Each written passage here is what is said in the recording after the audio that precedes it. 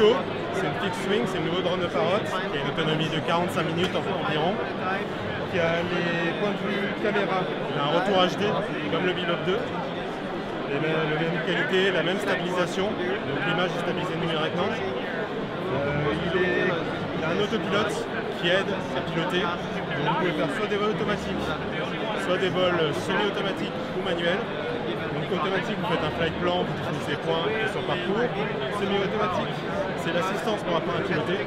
N'importe qui, vous, euh, quelqu'un qui ne connaît rien à l'aile, peut apprendre à piloter, avoir des, vraiment des sensations de pilotage. Et pour les adeptes qui s'y connaissent déjà, il y a le vol manuel. Là, il y a le contrôle total de l'aile.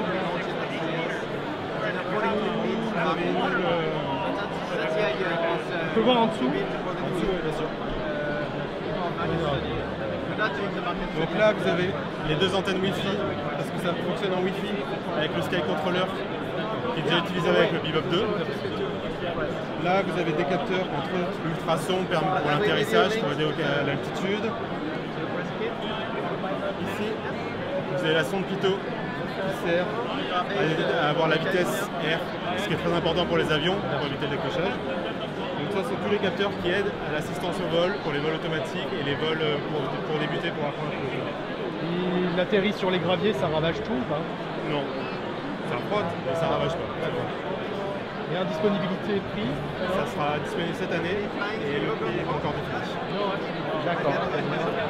Vous alliez nous parler du dessus, c'est quoi exactement là Toute l'électronique de vol dans un module.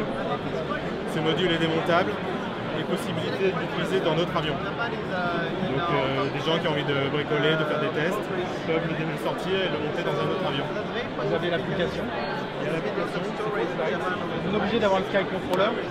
Vous avez la même application pour le Vlog 2. Avoir Sky Controller, c'est mieux pour le pilotage parce que pour avoir des questions de portée, vous assurez les 2 km. Avec un téléphone, c'est pas du tout sûr que vous dépassez, euh, vous alliez très loin. Donc pour le pilotage, c'est bien. Pour le vol automatique, le téléphone suffit largement. Euh, vous avez la possibilité ici d'utiliser une, télécommande du commerce de modélisme comme ça, à l'intérieur, vous avez des ports pour pouvoir connecter. Et comme ça, ça évite d'acheter un, Sky Controller pour les gens qui ont déjà des télécommandes. C'est trop ou c'est particulier pour les particuliers C'est plutôt particulier, mais possibilité d'évoluer vers les professionnels. Ok, très bien. Merci beaucoup.